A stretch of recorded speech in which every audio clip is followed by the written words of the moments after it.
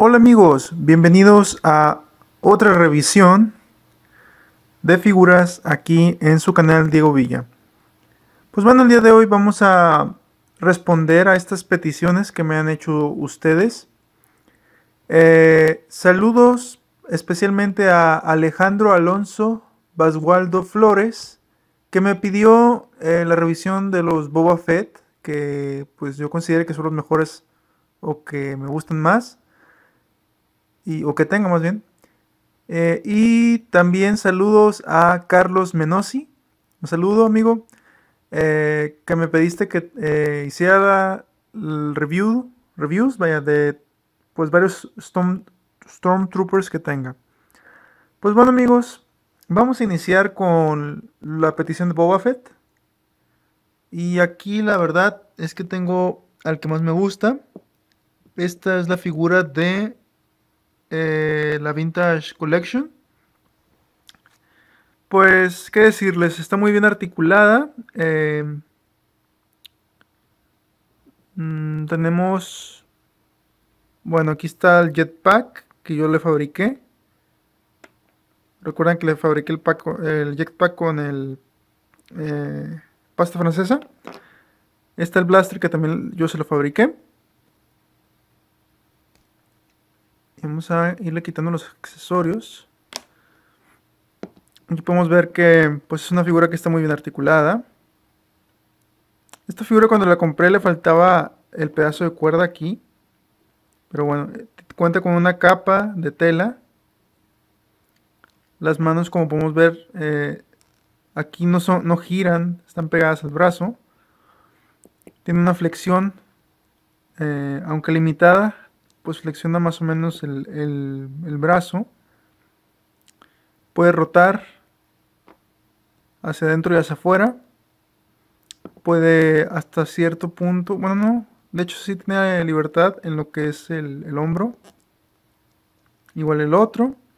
Las piernas pues pueden flexionarse y también lo que es el tobillo. Tiene muy muy buena articulación esta figura boba y además se le puede quitar el casco, es removible. Pueden ver y aquí está el casco de Boba Fett.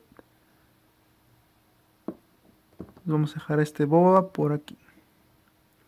También amigo, tengo este otro Boba que también es de hace poco. De, me parece que la serie Saga Legends, que no llegó a México, sin embargo lo conseguí en un tianguis, en un mercado.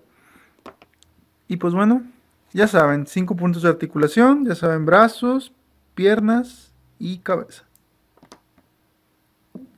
A este también yo le hice el jetpack. Para que lo vean. Vamos a dejarlos un poco acá. Aquí. Subir esto. Pues bueno, para Carlos Menosi tengo eh, los Troopers, Stormtroopers de Power of the Force. La verdad es que estos dos se parecen mucho. La articulación, pues ya la saben, 5 puntos. Se ha detectado una amenaza. Válgame, el antivirus, ¿va? Ahí me asusta, pero bueno, este. Estos troopers se parecen mucho, sin embargo son diferentes, porque pueden ver aquí el detalle de que uno tiene un agujero y el otro no y el casco es un poco diferente y la pose también de las piernas. Entonces, estos dos son los de Power of the Force. Tengo otros dos similares que estos ya son como de Power of the Jedi. Y fíjense que se parecen mucho también. No sé si se aprecia, creo que sí. Y la diferencia es que, bueno, uno tiene articulación hacia enfrente de la cabeza, mientras el otro tan solo tiene una articulación normal, vaya. De lado a lado. Podemos ver de, lado a lado. Sin embargo, este sí tiene más articulación hacia adelante y hacia atrás. Y la articulación básicamente es la misma que tiene aquí, mira, el, que las piernas y ya lo normal, nada más solo eso. Pues son de Power of the Jedi, no se imaginen tanto. Vamos a ponerlo por aquí. Y bueno,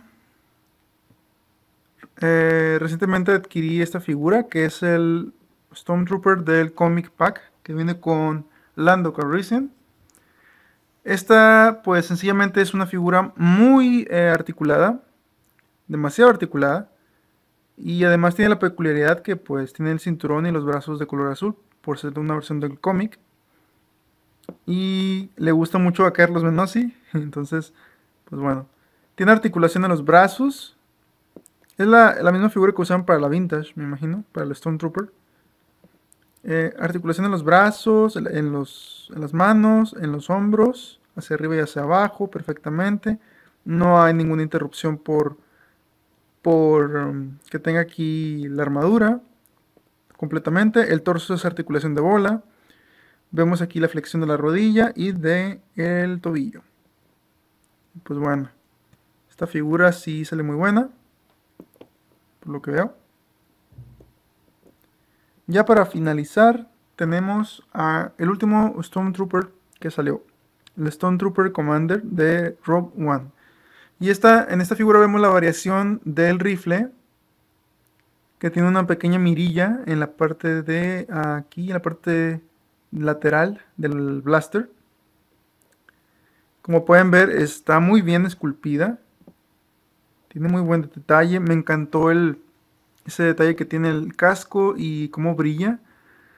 Sin embargo, ya saben, es una figura de 5 puntos de articulación. Pues bueno amigos, espero que les haya gustado este video. Y bueno, si ustedes tienen alguna otra figura que, más bien, si quieren pedirme un review de alguna figura que yo tenga y que ustedes hayan visto en algún video, pues bueno, no duden en pedir que hagan un video. Eh, sobre de revisión de esa figura. Ya saben amigos, soy Diego Villa, no olviden darle like, comentar y suscribirse. Nos vemos hasta la próxima. Adiós amigos.